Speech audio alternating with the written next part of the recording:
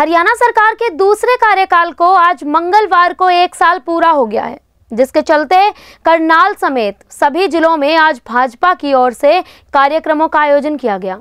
जिसको लेकर पूरे प्रदेश में आज अलग अलग जिलों में कार्यक्रम का आयोजन कर सरकार द्वारा किए गए विकास कार्यों की उपलब्धियों को गिनवाया गया। वहीं करनाल में भी जिला स्तरीय कार्यक्रम में 11 परियोजनाओं का शिलान्यास और उद्घाटन किया गया। कार्यक्रम में घरौंडा, इंद्री, नीलोखेड़ी के विधायकों ने शिरकत की। पारदर्शिता, क्षेत्रवाद मुक्त, भ्रष्टाचार मुक्त, इन स्लोगन के साथ हरियाणा सरकार ने अपने कार्यक्रम की शुरुआत की। बताया गया कि हरियाणा की गठबंधन सरकार ने पिछले एक साल में हरियाणा में क्या क्या किया और हरियाणा को कहाँ से कहाँ पहुँचाया गया। चाहे वो शिक्षा की बात हो या फिर खेल की, या फिर स्वास्थ्य की, या किसानों के हित हो सरकार के विधायक अपनी सरकार के कार्यों का बखान करते नज़र आए। इस कार्यक्रम में करनाल ज़िले के अलग अलग विधानसभा क्षेत्रों के विधायक और नेता आए हुए थे। पूरे प्रदेश में 306 परियोजनाओं का उद्घाटन और शिलान्यास हुआ। दूसरे कार्यकाल का पहला साल पूरा हो गया है। अब बाकी है तो बचे चार साल।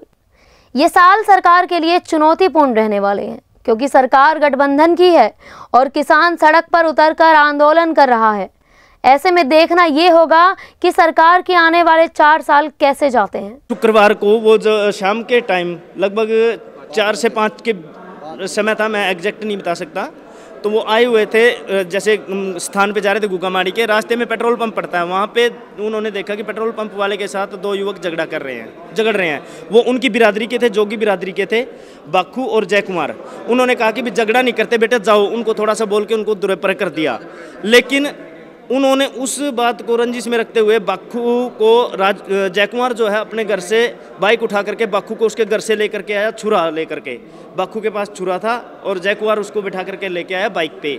आकर के उन्होंने लगभग पाँच बजे बुद्धू राम जी पर चाकुओं से हमला कर दिया। जयकुमार ने उनको पकड़ा और बाखू राम ने उनको छुरे गोप दिए।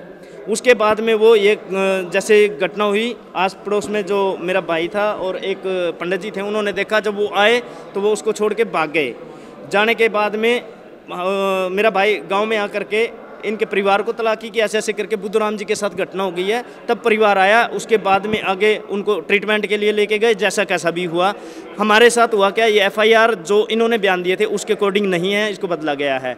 एक, दूसरा, इसमें जो गवाह थे उन गवाहों का हवाला बदल दिया गया गवाह ही चेंज कर दिए गए हैं जो मारने में पूरी तरह से आ, साथी था जिसने पकड़ा था बुद्धूराम जी को उसी को इसमें गवाह बना करके पेश किया जा रहा है जय कुमार को। हम ये चाहते हैं कि जय कुमार को भी बाकू के साथ सज़ा मिले क्योंकि वो बराबर का हकदार है बराबर का उसमें कत्ल करने में साजिश में उसके शामिल है।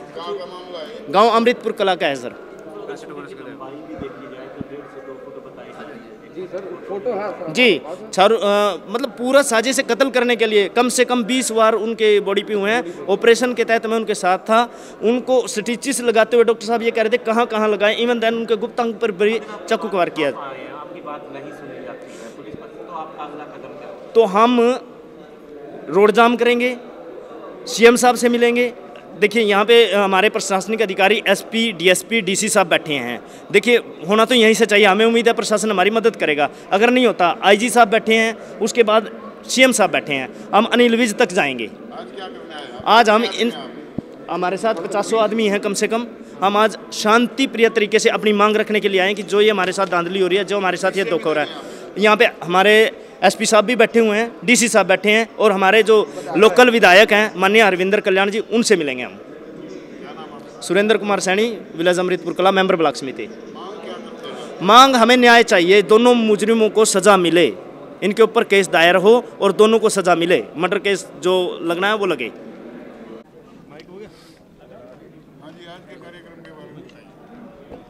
देखिए, भारतीय जनता पार्टी और जेजेपी के गठबंधन की सरकार का आज एक वर्ष पूरा हुआ है और इस उपलक्ष्य में आज राज्य स्तरीय जो एक कार्यक्रम जिसमें माननीय मुख्यमंत्री श्री मनोहर लाल जी ने हिसार में रहते हुए वीडियो कॉन्फ्रेंसिंग के द्वारा पूरे हरियाणा प्रदेश की लगभग 300 परियोजनाओं का शिलान्यास और उद्घाटन किया है और लगभग साढ़े अठारह करोड़ रुपए की ये सभी परियोजनाएँ हैं और आज तक के इतिहास में, हरियाणा प्रदेश के इतिहास में ये पहला अवसर है जब इतनी बड़ी संख्याओं में संख्या में परियोजनाओं का उद्घाटन और शिलान्यास हुआ हो तो आज इस कार्यक्रम में हर ज़िले से अ, जो लोग जुड़े हैं करनाल ज़िले में भी आज इस कार्यक्रम में क्योंकि करनाल ज़िले की 11 परियोजनाएँ जिनका आज उद्घाटन और शिलान्यास हुआ है लगभग चौवन करोड़ रुपए की ये परियोजनाएँ हैं। उसके लिए माननीय मुख्यमंत्री जी का बहुत बहुत आभार पूरे करनाल ज़िले के लोगों की तरफ़ से। और मैं समझता हूँ कि जो एक वर्ष ये सरकार का पूरा हुआ है, जिस प्रकार से पिछले पाँच वर्षों में भी भारतीय जनता पार्टी की सरकार ने मुख्यमंत्री मनोहर लाल जी के नेतृत्व में विकास की नई बुलंदियों को छुआ है, इस दूसरे कार्यकाल के पहले वर्ष में भी जिस तरीके से विकास के कार्य दोबारा शुरू हुए हैं, क्योंकि शुरू में निश्चित रूप से कोरोना की वजह से कार्य बाधित हुए थे मगर अब कोरोना के साथ भी लोगों ने जीना सीख लिया है और ये भी एक लड़ाई कोरोना के साथ अभी चल रही है।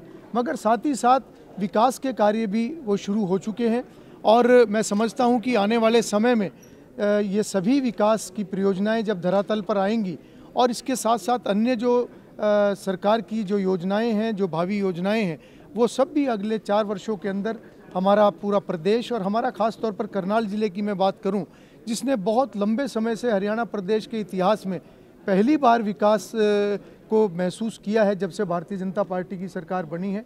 तो अगले चार वर्षों में भी सभी जो योजनाएँ हैं वो धरातल पर आएँगी और सभी व्यवस्थाओं को मज़बूत करते हुए भारतीय जनता पार्टी, जेजेपी की गठबंधन की सरकार बहुत अच्छे तरीके से लोगों के कार्य करने में लगी है। इन सभी कार्यों को पूरा किया जाएगा।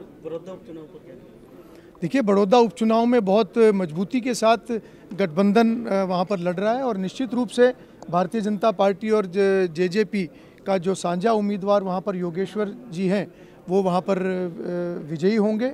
और एक संदेश पूरे हरियाणा प्रदेश में एक जाएगा कि किस तरीके से लोग विकास को प्राथमिकता देते हैं। निश्चित रूप से हम उस सीट को जीतेंगे। मुकाबला देखिए मुकाबला वहाँ पर कांग्रेस के साथ ही है। बिजली सप्लाई, बिजली मिलेगी, बिजली पूरी मिलेगी, चौबीस घंटे बिजली मिलेगी, उससे निश्चित तौर से किसानों को आम नागरिकों उसके फ़ायदा फ़ायदा होना चाहिए, क्योंकि आज हर एक काम जो है, हम अब जो है बिजली के ऊपर डिपेंडेंट हो गए हैं। अगर खेती की बात करें, आज ट्यूबवेल है जो के साधन हमारे ट्यूबवेल हैं इंद्री मोस्टली तो बिजली, ट्यूबवेलों को अच्छी बिजली मिलेगी, अच्छी वोल्टेज की बिजली मिलेगी तो निश्चित तौर से अच्छी बिजली मिलेगी। किसानों का उत्पादन बढ़िया होगा, उनकी आमदनी बढ़ेगी, वो आगे बढ़ेंगे। जब वो आगे बढ़ेंगे, हमारा प्रदेश, हमारा इंद्रिया आगे बढ़ेगा। जनता जनता अपने नेता से काफ़ी उम्मीदें करती है। उसके बाद आपका, अगर राम कुमार कश्यप की बात की जाए तो उनका इंद्री हल्के के लिए ड्रीम प्रोजेक्ट क्या है? देखिए कि मेरा ड्रीम प्रो तो देखो, ऐसा है, बहुत सी योजना है। मेरा सरकार का क्या, मेरा क्या सरकार का है? माननीय मुख्यमंत्री जो जो है हमारी, उनकी अच्छी नीयत है, अच्छी तरह से वह काम करना चाहते हैं। मैं इसके बारे में एक मुख्यमंत्री के जो सोच है, उसके एक उदाहरण देना चाहूँगा। कोरोना से पहले हम सभी विधायकों की एक मीटिंग हो रही थी तो मुख्यमंत्री ने हमारे बताए बिना सारे हरियाणा में जितनी कच्ची सड़कें हैं, उनका एक मैप तैयार कर लिया। और हमारे को बताया कि तुम्हारी जितनी सड़कें हैं, ये तीन साल में तुम्हारी पूरी कर देंगे सारे हरियाणा की। तो मुझे भी बताया गया, अभी आपकी इतने किलोमीटर सड़क पड़ी है, इसकी आपको दो साल में मुझे इतना दे दो, इतना। तो क्या करें, फिर वो कोरोना आ गया। तो कोरोना में सारा वो थोड़ा बहुत प्रभावित होता है।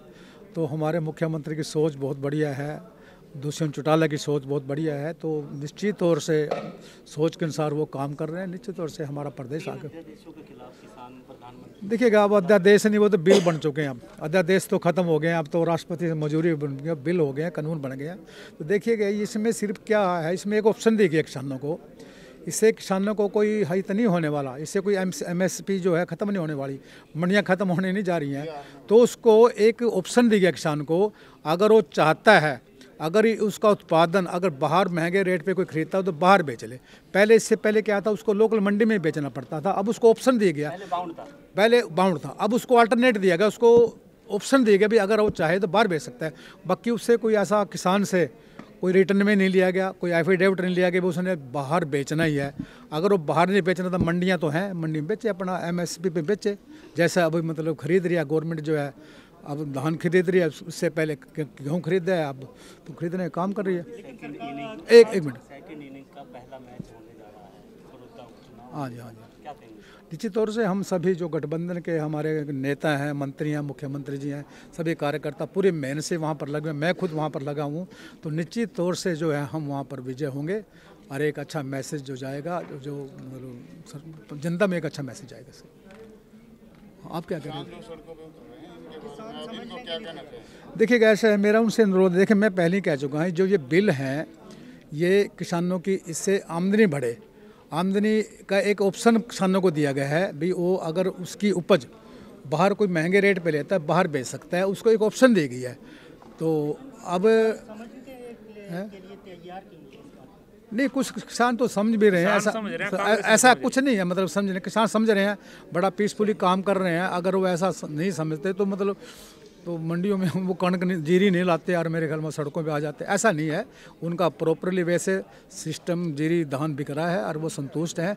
ठीक है मैं मानता हूँ शुरू शुरू में इसमें थोड़ा सा प्रॉब्लम किसानों का आई है आई है। मैं मैं ये नहीं कहता भी कोई किसानों नहीं आई है आई है वो तो हमारी सरकार, मुख्यमंत्री भी कह रहे हैं, प्रॉब्लम आई है, जब कोई काम शुरू होता है, कोरोना का देखो, कोरोना से, अब नागरिकों को कोरोना से ही बचाना है। अब कोरोना से तभी बचेगा ना, जब भीड़ भड़ाक नहीं होगी। तो पहले की तरह तो उसमें थोड़ा सुधार किया गया है, मंडी में कुछ सुधार किया गया, मंडी में परचेज में, सेल में परचेज थोड़ा सुधार किया गया, इसलिए थोड़ा सा उसमें प्रॉब्लम आई है किसानों को। तो अब वो प्रॉब्लम है नहीं, अब वो सारा सिस्टम ठीक चल रहा है। ऐसे ही लेटेस्ट खबरें पाने के लिए बेल आइकन को क्लिक कर हमारे चैनल को लाइक, शेयर एंड सब्सक्राइब करें। धन्यवाद। जेबीडी बैंकवेट्स लाए हैं। Incredible marriage palace Rajgharana and the finest banquet hall Jyoti Garden. World class catering, centrally air conditioned, lush green lawns, state of the art lighting. A perfect venue for wedding, launching and parties. Rajgharana and Jyoti Garden at JBD Banquets Enterprise.